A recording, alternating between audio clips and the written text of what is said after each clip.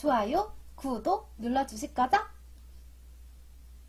안녕하세요. 다먹입니다. 오늘은요, 꼬막 비빔밥을 준비해봤어요. 어, 여기 꼬막 비빔밥 안에는 꼬막장, 홍고추, 미나리, 쪽파 이렇게 넣었어요. 어, 그리고 여기 들어있는 꼬막장은 그 우리 집 식탁이라는 곳에서 1kg에 14,900원에 판매되고 있어요. 음. 아, 너무 맛있을 것 같아요. 잘 먹겠습니다. 여기 들어있는 꼬막이 되게 커요. 먹어볼게요.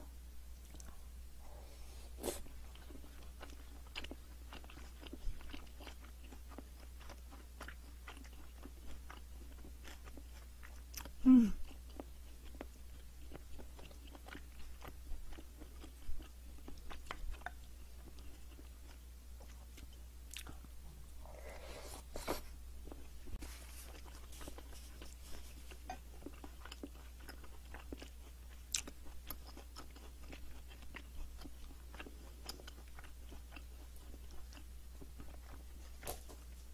어, 생각보다 진짜 안 짜고 어, 되게 맛있네요.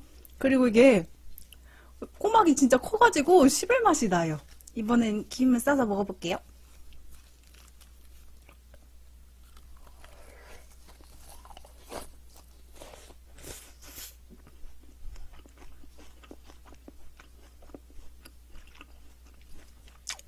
음.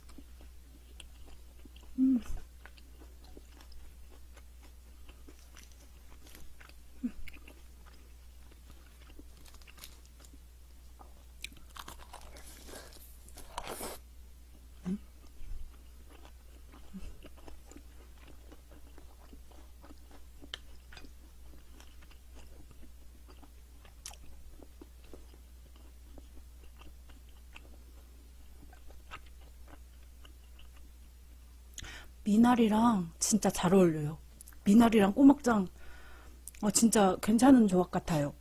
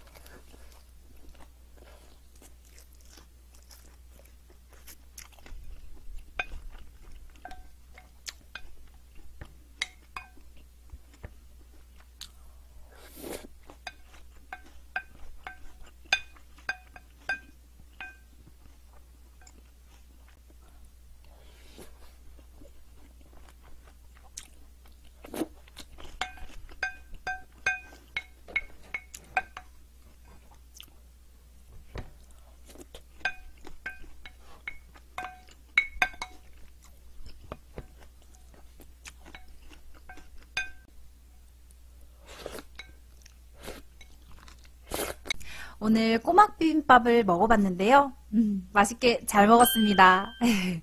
어, 비빔밥 안에 들어있던 꼬막장이, 어, 꼬막도 맛있었지만, 그 장이 진짜 맛있었던 것 같아요. 그 장이 꼬막 없이 그냥 밥이랑만 비벼 먹어도 될 정도로 되게 맛있었어요. 많이 짜지도 않고, 제 입맛에 딱이었습니다. 아, 그리고 요새 미나리가 또 맛있나 봐요. 그 미나리랑 이렇게 같이 먹으니까 더 좋았던 것 같습니다. 네, 그럼 오늘도 좋아요, 구독 부탁드릴게요. 또 봐요. 안녕!